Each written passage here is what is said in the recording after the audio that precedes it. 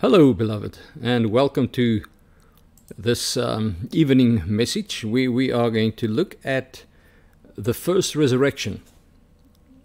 It's just a topical message to take some of the issues, and I'm going to do a few of them as time go, goes on, I hope, uh, and uh, as God allows me. I would like to do a few topical messages where we look at certain aspects of the the book of Revelation what happens at the end, th- those kind of things, to kind of give us a systematic the- theological idea of what certain things, what it, what it means. For example, the first resurrection, uh, the thousand year reign of Christ, you know, those kind of things, the wedding feast of the Lamb, those kind of things. Uh, I would like to touch on those things, the the mark of the beast, the Antichrist, the false prophet, you know, those kind of things that we spend some time uh, just looking at those topics independently. You know, all right. Obviously, we're going to work through the book of Revelation verse by verse as well, but I believe that we need to have some of these things answered as well, or let's say have a good systematic theological understanding of, for example, the first resurrection and also other things. So before we continue, let's just have a word of prayer. Heavenly Father, thank you so much that we can study your word, and thank you that we can uh, get some understanding of some difficult topics that we find in the book of Revelation and we find in the New Testament and even in the Old Testament uh, with regards to the second coming of Christ. There's so much involved. And I pray, Father, that you will please enable us to understand, enable me to teach your people, and um, enable them to to take to heart and to understand those things that that comes from you. And the ideas that comes from me father i pray in jesus name that it will not even go into their hearts.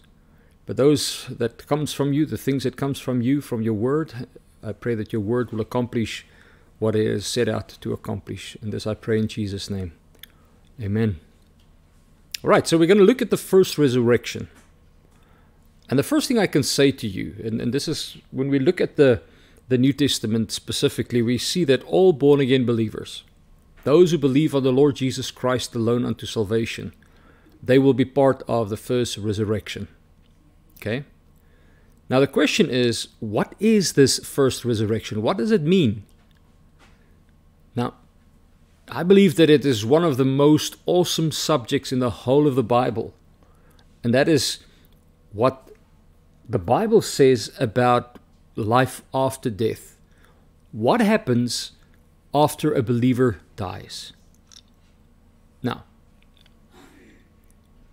practically, I think that all human beings somehow dream of kind of walking, you know, from physical death into some or other state of eternal blissfulness. I like that word, blissfulness or eternal happiness. But it's interesting that it's only the Bible that gives us detail, and, and we can call it amazing detail, about this, how can I say, eternal state that believers will find themselves in when they die. Obviously, the Bible also speaks about the eternal state of the unbelievers.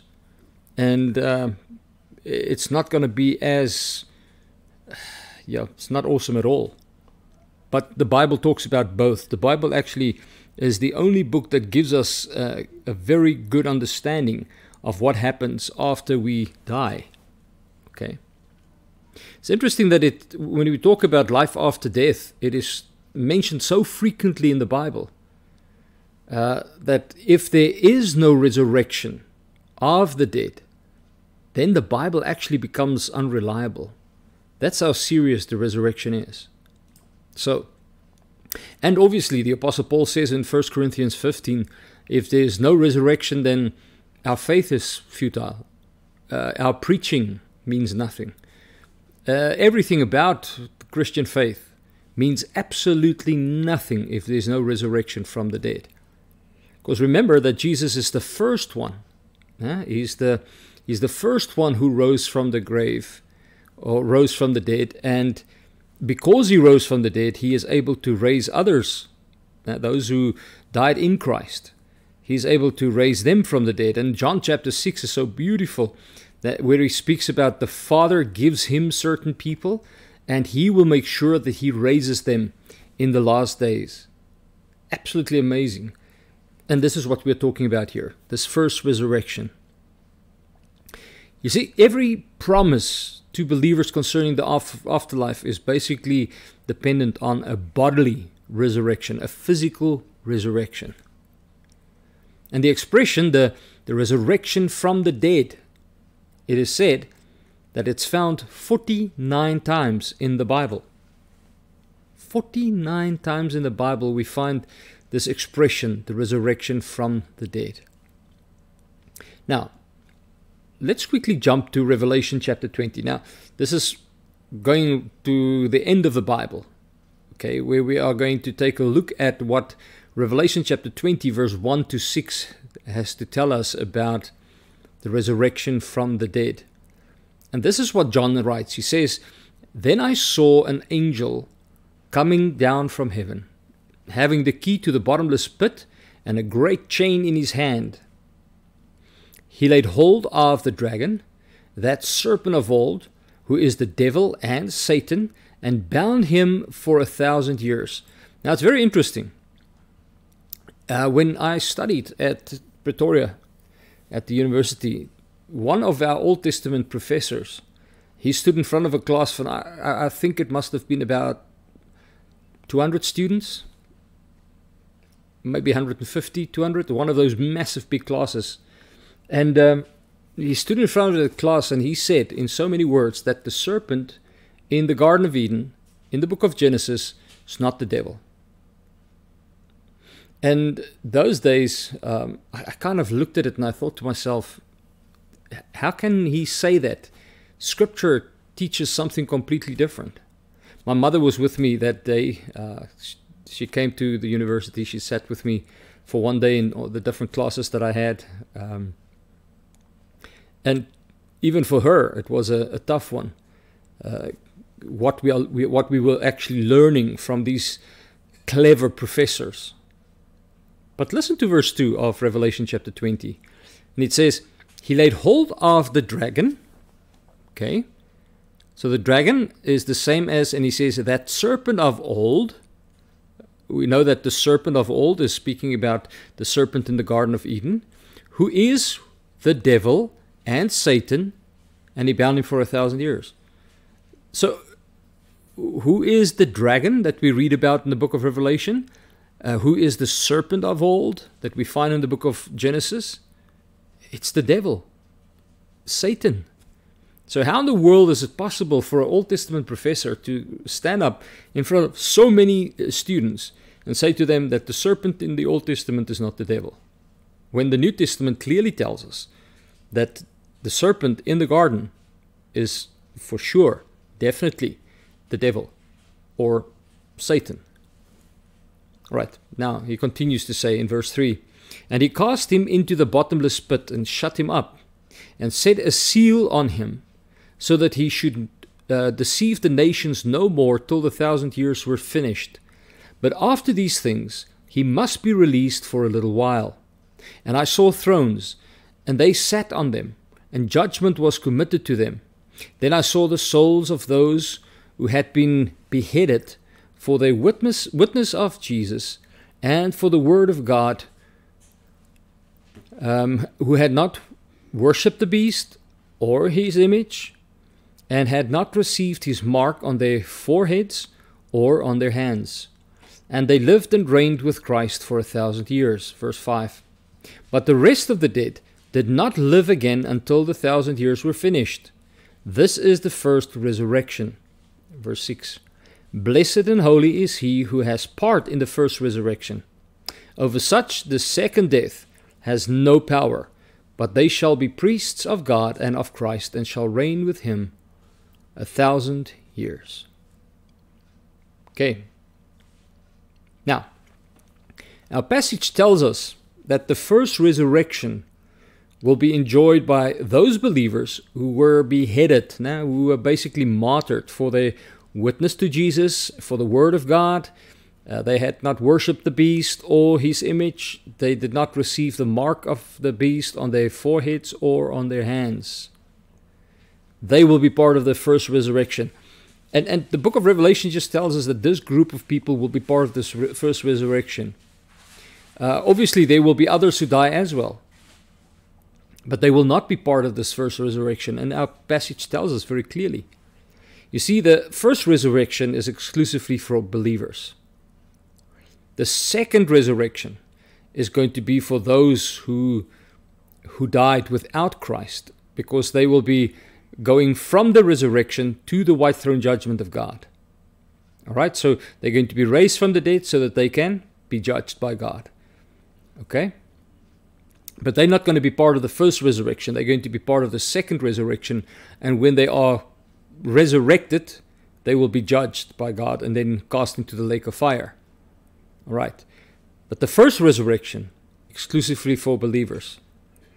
Now, in Revelation chapter 20, it specifically speaks about those who, who lost their lives during the reign of Antichrist. They will reign with Christ. They call him, uh, the, the, the, theologians talk, or those who, who are experts in, in understanding eschatology, they call it the tribulation saints, those who die during the tribulation for their faith. but the text itself tells us more specifically, it, it's those who are beheaded, those who die a martyr's death during the tribulation period. All right. So, it speaks specifically about those who lost their lives during the, the reign of Antichrist. Now, they will reign with Christ for a thousand years. This is the millennial reign of Christ. This is when Jesus will sit in Jerusalem on the throne of David and he will rule the world with a, um, how can I say, an iron hand, an iron fist. He will rule the nation, uh, the, the, the world uh, in righteousness. Okay, this is basically talking about the millennium. Now, our text tells us that the rest of the dead did not live again until the thousand years were finished. Then he says, This is the first resurrection. So basically, only those believers who died a martyr's death during the tribulation will be raised from the grave, and they will reign with Jesus Christ for a thousand years. The rest of the dead will only be raised after the thousand years are done, when Satan is released for a little while and he can once again deceive the nations, deceive the people on the earth, and that's when um, they will come. Those who died in Christ after that, they will be raised. Ach, not that died without Christ. Sorry, unbelievers will be raised from the dead, and then they will stand before the white throne judgment of God. All right. So the unbelievers basically stays in the grave until the thousand years are over. Now the question that arises in my mind is what happens to those other believers who died? Okay? Not everybody is going to die a martyr's death. What about those who dies uh, a, a normal natural death? And, and another one, what about those who died before the tribulation period, who died in Christ? Now, those who were not martyrs, but believed in the Lord Jesus Christ. Those who died in Christ. Now, if we look at the first resurrection, it seems like there are three groups who will enjoy the first resurrection. And the first group is basically the martyrs that Revelation chapter 20 speaks about. And this will be during the tribulation period. Those who, who basically are beheaded by the Antichrist as he persecutes the church and as he um, goes after God's people, um, they will be the first group. Okay, we've looked at them. Then the second group are those believers who will be raised from the dead, and this is in accordance to 1 Thessalonians chapter 4, verse 13 to 18. That's when the trumpet sound will sound and that's when Jesus Christ will appear in the air. And those who died in Christ will rise first, and they will meet Jesus in the air. And those who uh, have not died yet, they will be changed in an instant to meet Christ Jesus in the air with those who were raised from the dead. Okay. So it, it basically seems that if the saint that the saints uh, of the of the church age will be resurrected during what seems to be like a first phase kind of thing of the of the resurrection of the first resurrection and and we see it then in first thessalonians chapter 4 verse 18 of uh, verse 13 to 18 now it basically, this passage describes the resurrection of believers, not unbelievers, only believers. And according to Paul, because he's the one who wrote this letter, né? this resurrection will involve all those who have fallen asleep in Jesus and those who are alive who will be changed in an instant to meet Christ in the air. Let's read the passage, uh, verse 13 to 18 of 1 Thessalonians 4. It says, But I do not want you to be ignorant, brethren, concerning those who have fallen asleep, lest you sorrow as others who have no hope. For if we believe that Jesus died and rose again, even so God will bring with him those who sleep in Jesus. Verse 15 For this we say to you by the word of the Lord, that we who are alive and remain until the coming of the Lord will by no means precede those who are asleep, which means those who died. Nah. Verse 16 For the Lord himself will descend from heaven with the shout, with the voice of an archangel and with the trumpet of God. This is the return of Jesus Christ. Ne?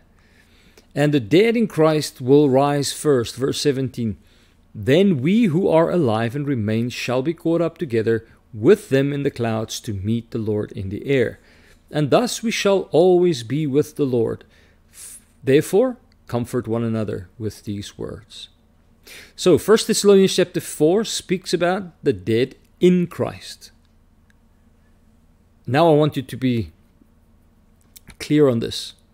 In the New Testament, the idea of being in Christ basically refers to those who have been baptized by the Holy Spirit into the body of Christ. That's what it means to be in Christ. It means to be baptized by the Holy Spirit into the body of Christ. Then you are in Christ. Okay?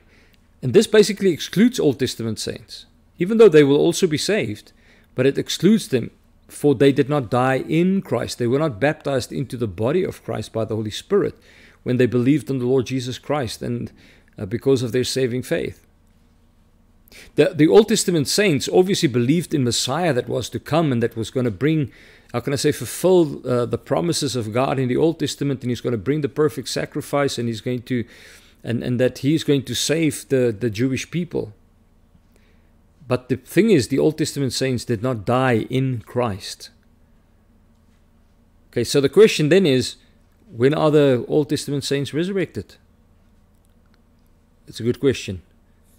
Okay, we'll look at that in a moment. But for now, we read in 1 Thessalonians 4, verse 16 The Lord Himself will descend from heaven with a shout, with the voice of an archangel, with the trumpet of God, and the dead in Christ will rise first. Beloved, here we have the trumpet sound, which means this is the return of Christ. This is the description of Jesus Christ's return to this earth when the trumpet is sounded by the angel. All right? So we are looking at a time, I believe, after the tribulation period. That's just before God's wrath is poured out on this earth. That's when the trumpet is going to sound. That's when Jesus Christ is going to return. I do not believe that we are going to be exempt from the tribulation and from the persecution of the Antichrist and the persecution of the world, but I do believe that God will protect us and that many believers are going to die a martyr's death by beheading uh, during the tribulation period. But God will not allow us to go through his wrath. Now, I know there's people that say that the seven year tribulation period, it is the wrath of God upon the people of the earth. I do not believe that. I really don't. Um, I do believe it's God's judgment. Okay? It's definitely God's judgment on the earth. And I believe it's going to be a very tough time for Israel, and it will be a time that will never be again. And it is a time that has never been before. They're going to experience extreme persecution. They're going to ex- experience extreme, um, how can I say, hostility towards them, right? But I believe that the believers will also be on the earth at that specific stage. God will protect them, obviously. Uh, and in as much as He wants us to, to basically continue to spread the gospel and preach the truth of God's word, but we will be persecuted, seriously persecuted. All right, and then before the wrath of God is poured out, that's right at the end of the tribulation period. Um, the time of Jacob's trouble, that second part of the tribulation, where the, the, the Jews realizes or Israel realizes that they've been serving the Antichrist for three and a half years, and then the persecution of the Jews starts by the through the Antichrist. Uh, that's going to be a tough time for Israel. Now, they call it the time of Jacob's trouble. But for us as believers, I believe that God will protect us. Um, and then before his wrath, before the wrath of God is poured out on this earth and on the inhabitants of the earth, on the unbelievers, I believe that this First Thessalonians chapter 4, verse 13 to 18, uh, resurrection is going to take place. All right. But there's a third group. And this third group is basically the Old Testament believers or the Old Testament saints. Remember that everybody is saved the same way. Uh, the faith of Abraham was counted as righteousness unto him. Not his good works, not the fact that he took uh, Isaac and went to sacrifice him. No, no, no, no. The faith of Abraham, because he's called the father of faith. Now, he's, the, he's the father of our faith. Uh, because he believed first that, uh, and he believed in the substitutionary atonement. He believed that God will give a substitute for, for, for his son, Isaac. All right, so he already had faith in Jesus, and he didn't even know that Jesus was going to be a substitutionary.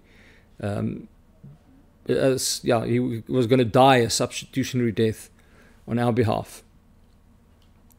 Now, the Old Testament seems to place the resurrection of the Old Testament saints after the tribulation.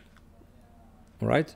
In Daniel chapter 12, that's immediately it speaks about immediately after the tribulation or the there's a description of the tribulation and the preceding uh, chapter uh, there's deliverance that is promised to israel and that is at the close of the tribulation listen to daniel chapter 12 verse 1 and 2 remember this is prophetic um, how can i say prophetic literature it is telling us about what is going to happen to Israel at the end, and it says the following Daniel chapter 12, we're going to read verse 1 and 2. It says, At the time, or at that time, Michael shall stand up, and the, the great prince who stands watch over the sons of your people. So Michael is basically the angel that is set over Israel. All right. And it says, And there shall be a time of trouble. This is talking about the tribulation. Nah? the time of Jacob's trouble, the great tribulation period. This is the second um, three and a half years of the tribulation period. And it says, such as never was since there was a nation, even to that time. And at that time, your people, that's the Jews or Israel, shall be delivered. Everyone who is found written in the book, those who are saved. Uh, verse 2 says, and many of those who sleep in the dust of the earth shall awake, some to everlasting life, and some to shame and everlasting contempt.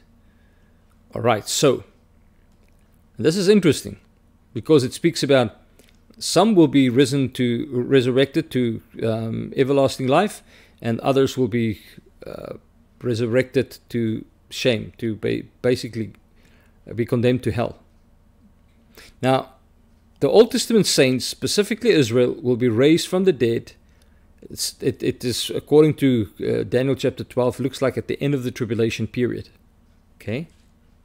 Now, in 1 Thessalonians 3, verse 13, we read, So that he may establish your hearts blameless in holiness before our God and Father at the coming of our Lord Jesus Christ with all his saints. So when Jesus returns, now that's when he ride on his white horse, he's going to come with all of his saints. Now, what is a little confusing here is the fact that there are some of the Jews, the Old Testament um, or Israel, that is raised at the end of the tribulation period, some to eternal life and some not. Okay. The thing is, and it says that it's a blessing to be in the first resurrection. So to me, it seems that it, when it comes to the nation of Israel, when it, or let's say when it comes to the church and New Testament believers uh, and the martyrs in the tribulation period, when they um, are resurrected, they are believers and they will go in to God's glory forever and ever. And the, the, the, the dead in Christ, the Gentiles who are not saved, they are not resurrected. But when it comes to Israel, it seems like God raises both the unsaved and the saved. Okay? He raises both of them. And obviously, those who are saved to go with Jesus, to be with Christ, and those who are not saved to be condemned forever and ever. Exactly how that works, uh, it is a mystery.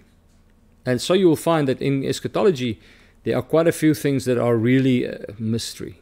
it, it is hard to understand. All right. But we do know that at the end of the tribulation period, Israel will be raised from the dead. Okay? Now, when Jesus returns, all of his saints will return with him. And because they are part of the first resurrection, it says that the second death will have nothing on them. Obviously, this does not include those um, how can I say, from the nation of Israel who are raised at the end of the tribulation period and they did not believe on, uh, how can I say, to be saved and they are condemned. Okay? But for those who believe and are raised from the dead, death will have nothing on them because they will live with Christ forever and ever. Beloved, that, that's what um, I can see from the how can I say from the New Testament about and the Old Testament about this first resurrection. And this first resur- resurrection is very important because it is the resurrection that is central to the Christian faith. Obviously, the gospel is nah, that Jesus Christ died for our sins according to the scriptures, that he was buried, and that he rose again on the third day according to the scriptures. There's the gospel. It includes the resurrection of Christ. But Jesus is the firstborn from the dead, and those who dies in Christ, at the end of the day, they will all be raised. Um, how can I say? Just like Jesus was raised.